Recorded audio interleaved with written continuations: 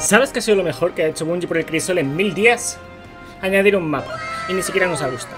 Una vez ha hecho más que eso, ¿no? Pero es en plan, bro, un mapa en mil días. Esa es una de las razones por las cuales el PvP se ha ido bastante en plan a la mierda. Literal, hay, que decir las cosas como son. Está fatal la cosa. Os voy a mostrar con números. Las matemáticas no mienten.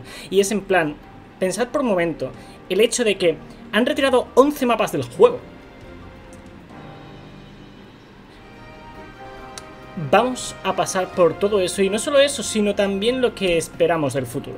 En temporada 19 habrá cambios, a gloria competitivo esperemos que buenos. También habrá nuevos modos de juego y se supone que hay un equipo trabajando para Eclipse, Lightfall, ¿vale? Un roadmap de mapas, en plan, hay esperanza, ¿no? Llevamos 10 años de esperanza, casi.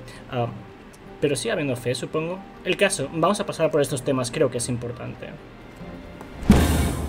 Gracias a nuestros panas en Blazing Boost por patrocinar el vídeo. Blazing Boost lleva ya más de dos años, casi tres, patrocinando el canal. Ofrecen servicios de ayuda a aquellos que no tienen tiempo para hacer ciertas actividades o necesitan ayuda, y actualmente cuentan con servicios dedicados a pruebas de Osiris, ahora que han regresado a la mazmorra dualidad y a todo lo nuevo. Cuentan con más de 24.000 reviews positivas, un 5 de 5 en Trustpilot, ya os digo que son de fiar, ¿vale? Y además, contamos con un código de descuento WIRE5 con el que os ahorraréis dinero, así que si os interesa, este es el que más os puedo recomendar. Al grano, solamente con este apartado de partidas privadas puedo explicar por qué Bungie se ha cargado el PvP, pero a propósito. Y aquí podéis verlo. O sea, veis estas cuatro páginas. Mejor dicho, veis lo que falta. Faltan 11 pinches mapas. O sea, el PvP está peor que nunca. Llevaban más de mil días, alrededor de mil días, sin añadir un pinche mapa. Han añadido uno. Uno en mil días. Pero retiraron 11 en un día. O sea, es en plan, matemáticas. Así que aquí estamos en Destiny 2 con un número limitado de mapas. El último, por cierto, no es que le gustara mucho a la gente. A mí no, es que me parezca mal, pero, ¿sabes? En plan, ni siquiera fue precisamente buen recibido por la mayoría, ¿vale? Hay mucha gente que se quejó. Quizás porque aparece más a menudo en, grieta. De cualquier modo, ¿sabes? No es que me parezca mal, pero eh, me parece mal que sea un mapa en mil días, ¿vale? Un mapa en mil días. O sea, literal, esperad que os muestre esto. Vale, checa esto. Este vídeo lo subí el 31 de mayo de 2021 y ahí iban 609 días sin nuevos mapas de crisol. ¿Vale? Lógicamente ha pasado un año y pico desde entonces, básicamente sí, alrededor de mil días, no sé si alcanzarán, no me hagáis contar, ¿vale? Pero sí, o sea, unos mil días. Y un solo pinche mapa Mira, wow, vamos a intentar mantener la calma, ¿vale? Porque tengo datos, muchos datos que compartir, ¿vale? Y sí, vamos a continuar con esto. Esto es lo que Bungie compartió, creo que el... Uh, sí, esto es el, año pasado, entre 2020 y 2021, ¿vale? Esta es la data de Trials of Osiris, las pruebas de Osiris, ¿vale? Estos son los nuevos jugadores, estos son los que llevaban un tiempo sin jugar, estos son los que eh, lo dejaron durante una semana y estos son los que regresaban. Como veis, en agosto lo petó, ¿vale? Y eso es cuando hicieron grandes cambios a las pruebas de Osiris. De cualquier modo, esto eran cuantos 700.000, por aquel entonces, como veis, estaba en la basura. ¿Vale? Y, de nuevo, juntándolo con los mil días mm, sin mapas, también han habido montones de errores, metas, que no es que precisamente le gustara a la gente y, bueno, no hace falta eh, decir que hay, había mucho que cambiar, mucho que mejorar. Entonces, al gran, aquí tenemos las estadísticas actuales, ¿vale? El último fin de semana de pruebas de Osiris, como veis, apenas estaban jugando 200.000 jugadores. ¿Vale? Tenemos 200.000 jugadores y ¿cuántos? Oh, y 56.000 impecables. Vámonos a la primera semana de la temporada la primera semana de esta temporada teníamos, uh, tampoco es que fuera mucho mejor, tenemos 300.000 y 100, ahí sí tenemos el doble de impecables. Uh, tened en cuenta que esta temporada, ah, por cierto, aquí tenemos un poco más, esta es la primera semana, por cierto, sigue sin cambiar mucho la cosa. De cualquier modo, tened en cuenta que esta temporada han añadido un nuevo set de armadura, que además es tanto guapos para cada una de las clases. Han añadido dos nuevas armas, Adepto Experto también, ¿sabes? Ha hecho varios otros cambios y aún así ni siquiera alcanza a la media del año pasado, ¿vale? Y, de nuevo, esto, o sea, aquí, este día, en agosto, hicieron grandes cambios, ¿vale? Definitivamente, lo petaron aquel día. sí, casi que aquel día, porque es que después volvió a bajar, ¿no? Pero uh, sí, por aquel momento es como que bien, ¿vale? Hicieron algo bien. Pero desde entonces ha ido bajando, y no solo eso, Sí, está en la basura ahora mismo, vamos a dejarlo ahí Pero espera, tengo más que decir Aquí tenéis una imagen, ¿vale? De los mapas de Destiny 1 Hay un millón de mapas de Destiny 1 Podría entrar en Destiny 1 ahora y mostraroslos todos Pero con esto quiero decir que, oye, Ah, de hecho aquí el tweet creo que lo explica todo. O sea, Bungie ha reciclado ya casi la mitad de Destiny 1. Y entiendo a los que se quejan de contenido reciclado. Pero ya podrían reciclar unos cuantos mapas de Crisol más. Es en plan, mil días sin mapas. ¿Sabes? Nadie se quejaría si trajeran uno de Destiny 1. Es en plan, era hora, ¿sabes? Y por cierto, escuché un comentario por ahí de gente que sugería que usaran algunos mapas de Crisol para Gambito también. Oye, tío, eso estaría perfecto también, porque no hace falta decir que Gambito está incluso peor. ¿Sabes? Se supone que este año hicieron el rework de la historia, ¿vale? Gambito iba a estar mejor que nunca, se supone, iba, o sea, le dedicaron un montón de esfuerzo a esos cambios y básicamente siguen el 3%, incluso menos gente lo juega, o sea, es duro, es duro eso.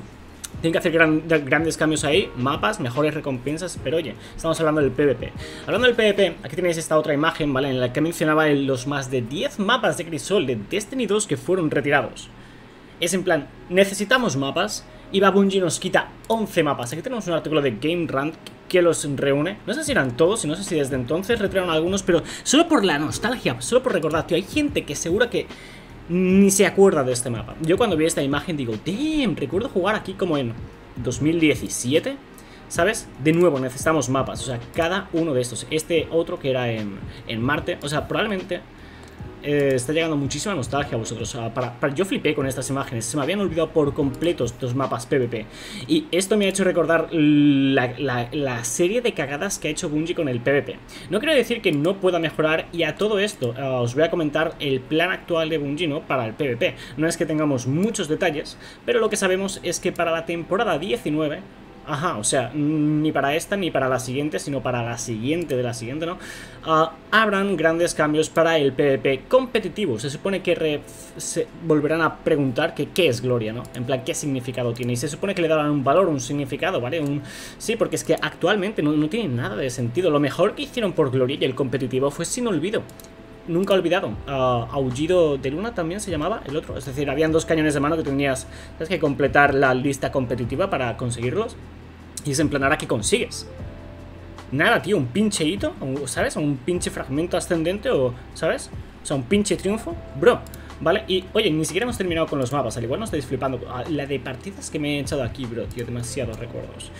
Dicho eso, como os digo, no vamos a terminar, ¿vale? Esto solo es un recordatorio de la... Ah, este regreso, este regreso, ¿vale? Así que técnicamente hay 10 mapas que tienen que volver, además de que deberían traer nuevos. A todo esto, se supone que lo sabrá, ¿vale? Dejad que os explique. Aquí tenemos a Joe Blackburn, director de Destiny 2, que nos estaba explicando lo mal que estaba el PvP en 2021. Y oye, ¿sabes? En plan, ya, hace más de 3 años que está mal. Ah, y, ¿sabes? Sí, mira... Uh, Aquí tenemos lo de los mapas. Nos dijo, los nuevos mapas llevarán algo de tiempo. Y es en plan, bro, danos los viejos mientras tanto. Pero espera, cálmate. Bueno, continuamos. Dice, así que estamos abiertos a, Básicamente a fijar la fecha de la temporada 16 Solo estaban trabajando para traer dos mapas del depósito de contenido Que es en plan, bro, ¿en serio tanto te cuesta eso? O sea, vale, actualizaron el motor, eso es interesante, ¿no? A supongo que hay que mencionarlo En Beyond Light hicieron una actualización del motor Y es posible que esa sea la razón por la que alguno de estos mapas no puede pasar Pero al mismo tiempo es en plan, ¿y cómo pasar a nosotros? Mira, Joe a, continuar Joe, ¿vale? Y nos dice que después de esos mapas de temporada 16, eh, temporada 17, y por cierto, en temporada 16 que hemos tenido, bro. Uh, si volvió Bostock y Eternity, cierto, esos son los dos a los que se refería. Luego en temporada 17, que es la actual, uh, iban a traer un nuevo mapa, ¿vale? Que es el que hemos tenido, ahora no recuerdo el nombre, lo hemos mencionado ya al principio del vídeo. Dice que hay un montón de ambientes, bueno, ponle destinaciones, ¿no? O lugares en Destiny 2 que están emocionados por traer al Crisol al mismo tiempo. Esto lo dijo el año pasado, ah. Ah, de cualquier modo dice que después de esos tres mapas ah, que añadirán en rotación en temporada 16 y 17, estarán remasterizando un mapa de Destiny 1 que traerán por primera vez con temporada 18. Es en plan... O sea, después de mil días sin mapas de PvP, esto pueden sonar como buenas noticias, pero es, tío, es como si nos estuviera vacilando un poco, es en plan, bro, para empezar nos quitaste 11 mapas, ¿vale? Y luego traer mapas de Destiny 1, o sea, seguramente lleva trabajo, pero no es en plan como, ¿sabes? Y dice que esto es en esfuerzos, ¿vale? Eh, trabajando con un equipo en paralelo que se supone que está trabajando en el futuro más allá, ¿vale? De cara a un roadmap de mapas para Eclipse y más allá, para Lightfall y más allá. Con eso quiere decir que además de ese equipo que estaba trabajando en esos mapas remasterizados, el nuevo, ah, también hay un equipo que ha estado trabajando desde entonces, desde 2021, en un roadmap de mapas PvP para Eclipse y más allá.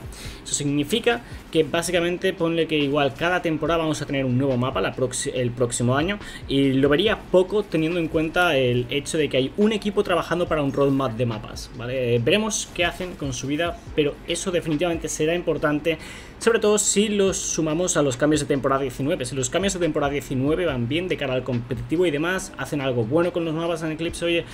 O sea, yo sigo esperando que mejore la cosa. Porque mejorar puede mejorar, ya peor que es difícil que vaya peor.